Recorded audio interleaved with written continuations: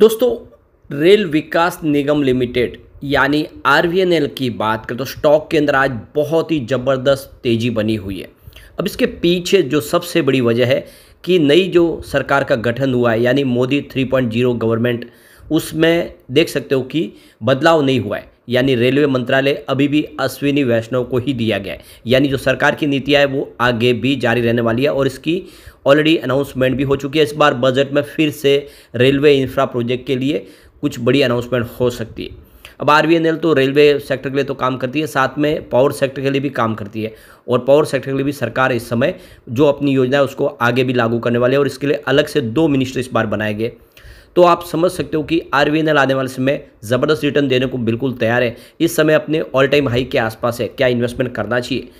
दूसरी तरफ़ आईआरएफसी की बात करें तो ये आज आईआरएफसी भी बहुत कमाल कर रहा है। ज़बरदस्त तेज़ी बनी हुई है और सीधा फ़ायदा होता है। कोई भी रेलवे की कंपनियों को बेनिफिट मिलेगा, उसका सीधा फ़ायदा IRFC को होगा, क्योंकि रेलवे की फाइनेंस प्रोवाइड करने वाली ये कंपनी है। और कुछ बड़ी जो अपडेट निकल के आ रही है, बहुत सारे प्रोजेक्ट सरकार आने वाले इसमें कंप्लीट करेगी।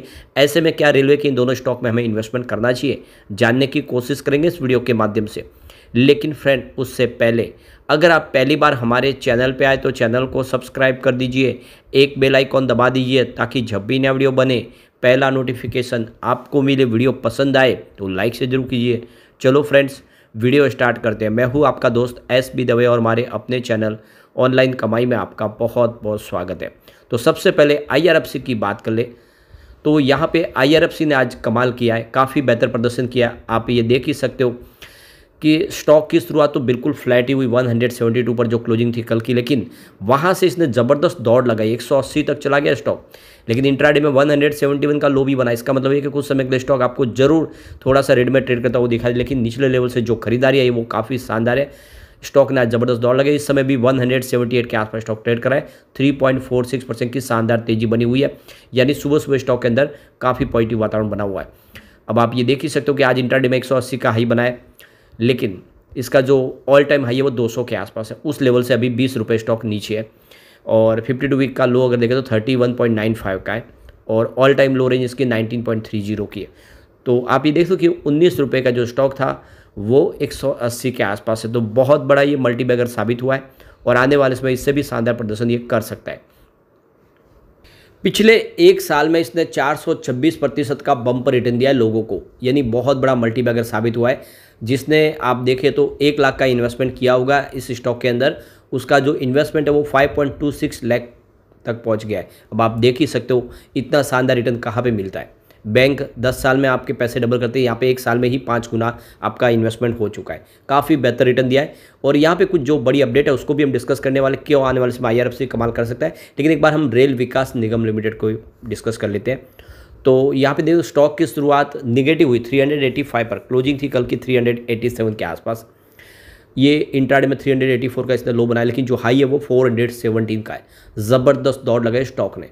और इस समय 413 के आसपास स्टॉक ट्रेड कर रहा है 6.74 परसेंट की शानदार तेज़ी बनी हुई है। यानी आरवीएनएल का स्टॉक दौड़ रहा है और रेलवे के सभी स्टॉक कमाल कर रहे हैं। अब आप देख ही सकते हो कि आज का जो हाई है वो 417 के आसपास है, लेकिन इसका जो ऑल टाइम हाई है वो 425 का अब उस लेवल से सिर्फ़ आप देख सकते हो कि आठ रुपये स्टॉक नीचे रह गया। हो सकता है कि आज ही इंट्राडे में ये नई हाई बना दे। इस हिसाब से इसमें तेज़ी का वातावरण बना हुआ है।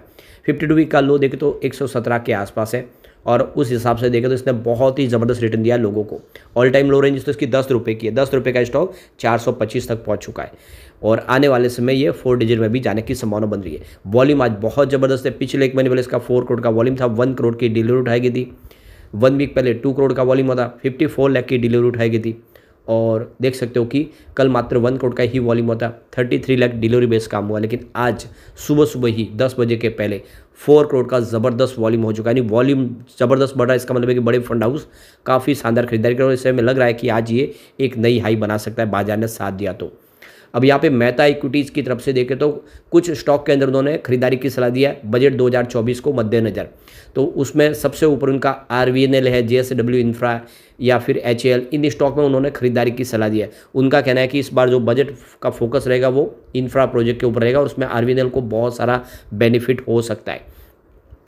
तो यहाँ पे मेहता इक्विटीज़ की तरफ़ से रियांक अरोरा ने कहा है कि जो बजट है हमारा इस बार financial two thousand twenty four twenty five के लिए उस बार उसमें जो पुरानी जो योजना है वो चलती रहेगी। सरकार इस समय देखे तो उनका जो फोकस है वो infrastructure defence agriculture renewable energy इन सेक्टर के ऊपर ही रहेगा, जो पहले से उन्होंने अपना गोल सेट कर दिया, उसी को आगे बढ़ाने वाले और सरकार की जो मंशा है, इस सेक्टर में एक आमूल परिवर्तन लाने की है। तो ऐसे में देख सकते हो कि बुधवार को ही हमारे फाइनेंस मिनिस्टर निर्मला सीतारमण की तरफ़ से एक मीटिंग रखी गई, जिसमें इकोनॉमिक्स के साथ में उन्होंने बातचीत की है और बजट की तैयारी किया किस तरह से बजट को लाना है।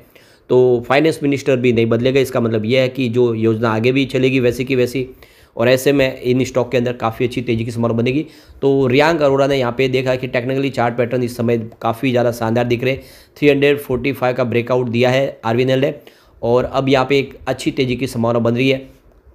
इसमें 350 का आप स्टॉप लॉस लगा लें, उसमें खरीदारी करें। पोटेंशियल टारगेट 425 से 450 के आसपास है, जो तीन, चार से छः सप्ताह के लिए बताया गया, लेकिन मुझे लग रहा है कि उससे पहले ही ये टारगेट हिट हो सकते हैं। तो बिल्कुल आर में निवेश करना चाहिए। आपको पता ही होगा कि बिज़नेस इसका बहुत ही शानदार है। कंपनी बहुत सारे पावर प्रोजेक्ट भी करती है और मेट्रो के सारे प्रोजेक्ट कंपनी के पास इस समय आ रहे हैं और जो बड़ी गुड न्यूज़ निकल के आ रही है, पटना के अंदर चार नए सिटीज़ के अंदर मेट्रो प्रोजेक्ट को हरी झंडी दी गई है, नीतीश कुमार सरकार की तरफ़ से। तो कल ही यानी गुरुवार को नीतीश कुमार ने चार नई सिटीज़ के लिए मेट्रो के प्रोजेक्ट को हरी झंडी दे दी है। और ये देख दो कि इससे पहले पटना मेट्रो स्टेशन ऑलरेडी शुरू है, उसका काम अब पाँच हो जाएगी सिटी जहाँ पे मेट्रो प्रोजेक्ट शुरू होंगे पटना के अंदर। तो यहाँ पे देखो कि अर्बन डेवलपमेंट हाउसिंग डिपार्टमेंट की तरफ़ से जो प्रपोजल था, उसको मंजूर कर लिया है स्टेट कैबिनेट ने। अब आप देखिए चार नई सिटी जिसमें आप देखो कि मुजफ्फरपुर, गया, दरभंगा और भागलपुर में अब यहाँ पे मेट्रो शुरू होने वाली है। वहाँ पे मेट्रो प्रोजेक्ट की संभावना अब आगे देखी जाएगी। इससे पहले देखो कि 17 फरवरी 2019 में ही पीएम नरेंद्र मोदी ने पटना रेल मेट्रो प्रोजेक्ट को शुरू कर दिया था और ये अभी अंडर कंस्ट्रक्शन है। तो देख सकते हो कि आने वाले समय ये सारे जो मेट्रो के प्रोजेक्ट होंगे, इसमें बहुत सारा खर्च होने वाला है और ये प्रोजेक्ट देख सकते हो कि आर के पास आ सकते हैं, क्योंकि आर के पास बहुत सारा अनुभव है। बहुत सारे मेट्रो प्रोजेक्ट इंडिया के अंदर वही कंपनी कर रही है। ऐसे में बहुत बड़ी गोल्डन अपॉर्चुनिटी है आर के लिए भी और आईआरएफसी के लिए भी। इसके अलावा देखें तो सरकार की तरफ़ से नेशनल मास्टर प्लान की तहत से पीएम गति शक्ति योजना के तहत करीब six thousand forty six crore के हाईवेज और रेलवेज के प्रोजेक्ट को भी अनाउंसमेंट की गई है और ये प्रोजेक्ट आने वाले इसमें कंप्लीट होते हुए दिखाई देंगे, जिसमें आप देख सकते हो कि एक एमओआर प्रोजेक्ट है, जिसमें ये साउथ में होगा Guntur Rayagunta third rail line project है आंध्र प्रदेश के अंदर, जिसका आप देख कंस्ट्रक्शन होने जा रहा है। Eighty three point one seven kilometre का ये प्रोजेक्ट होगा। तो ये देख सकते हो कि बड़ा प्रोजेक्ट है जो आने वाले समय कंप्लीट होगा। इसके अलावा पुणे मेट्रो का भी एक्सटेंशन होने जा रहा है। इसको भी मंजूरी मिली है। तो देख सकते हो कि बहुत सारे प्रोजेक्ट जो आने वाले समय कंप्लीट होने वाले हैं। ऐसे में ये दोनों कंपनियों को बहुत सारा बेनिफिट होने वाला है। इसके अलावा अगर जो सबसे बड़ा फ़ायदा होने वाला है कि जितनी रेलवे पुरानी वो धीरे धीरे बंद होने वाली है उसकी जगह पे वंदे भारत स्लीपर, वंदे मेट्रो और वंदे भारत जगह लेगी इसके अलावा अमृत भारत ट्रेन और नमो भारत ट्रेन। ये सारी की सारी जितनी पुरानी ट्रेनें चाहे वो राजधानी हो, उनकी जगह लेने वाले हैं। ऐसे में आप समझ ही सकते हो कि कितना खर्च होने वाला है। इसके अलावा देश के जितने बड़े बड़े रेलवे स्टेशन है, वो सारे के सारे एयरपोर्ट की तर्ज पर बनाए जा रहे हैं। बहुत सारा वहाँ पे खर्च होने वाला है। ऐसे में लॉन्ग टर्म इन्वेस्टर के लिए अच्छा मौका है कि इन दोनों रेलवे के शेयर में दाव लगाए। भले ही शॉर्ट टर्म में आप देखें, थोड़ा सा दबाव देखने को मिलेगा, लेकिन लॉन्ग टर्म में ये स्टॉक फिर से वैसा ही रिटर्न देने को तैयार है, जो अभी तक दौड़ दे चुके हैं और उतना रिटर्न दे चुके हैं। क्योंकि इनके अंदर जितनी संभावना दिख रही है, उसके हिसाब से ये प्राइस तो कुछ भी नहीं है।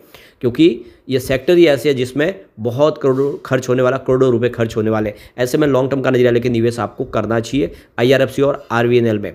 लेकिन फ्रेंड कोई भी इन्वेस्टमेंट करने से पहले अपने फाइनेंशियल एडवाइजर से बड़े ले ले या अपना खुद का रिसर्च करें, क्योंकि मैंने वीडियो आपके एजुकेशनल पर्पज़ के लिए ही बनाया। वीडियो पसंद आए तो लाइक से ज़रूर कीजिए और चैनल को सब्सक्राइब कर दीजिए। Thank you friends